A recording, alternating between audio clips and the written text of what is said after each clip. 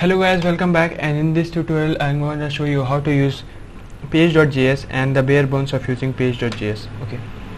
So we'll just start right away with the code and I'll just give some links out here because the basic thing for any routing to work is that we need a link to which we can map.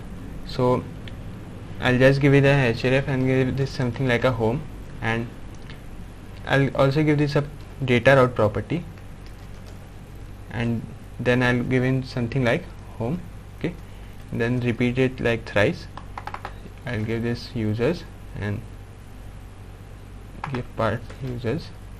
And out here I'll give in something like contact okay? And here also I'll give something like contact.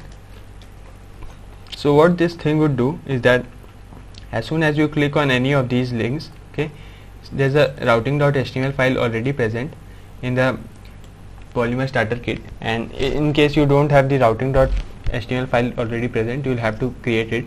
Okay. So what the file actually will go on to do is that it will just map these these URLs to the function. So anytime the home function is clicked where there is nothing after a URL uh, just the home URL so it will just come back to this function okay. Maybe I'll just put like console.log on each of these so you can see.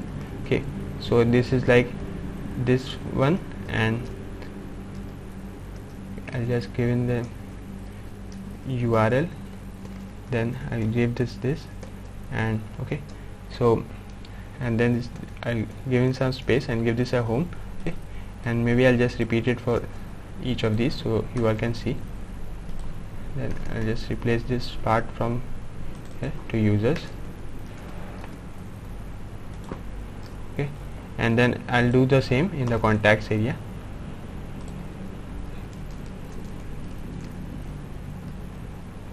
Okay. So each time what will happen is that whenever a slash users is seen in the uh, in the address bar this function will then just fire and then it will set the app.route property which will go ahead and set us the selected property in the iron pages element to a particular value and from where the data will be changed. So I'll just go ahead and see what this thing does okay? Just remove all this and so mistake. I'll I've just given all these things a value of like home. So I'll just rename this part. Okay. So as we just go into the browser and we'll just click in the different parts and see what happens. Okay. Okay. So when we click at home we see that this thing is okay I'll just resize this part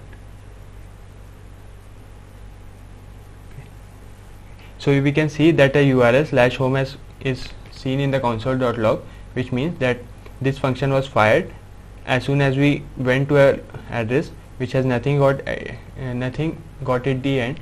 And when I click add slash users we'll see that the function out here which has slash users mapped so that function is called. And as soon as we click on the contact out here we'll see that the function which has contact slash contact mapped to it that function is called and we can see that the output is also shown out here. Okay. So as soon as these things uh, as soon as we click on different kind of uh, links so different functions we can see are firing. So what we next go want to go ahead and do is that we need to put an iron pages tag out there and then give it a selected property and then connect the selected properties with the app.route property out here so that the selected property like earlier we were selecting 0 1 2 we will now uh, give it like a discrete value like users contact something like that and then we'll go ahead to select that thing.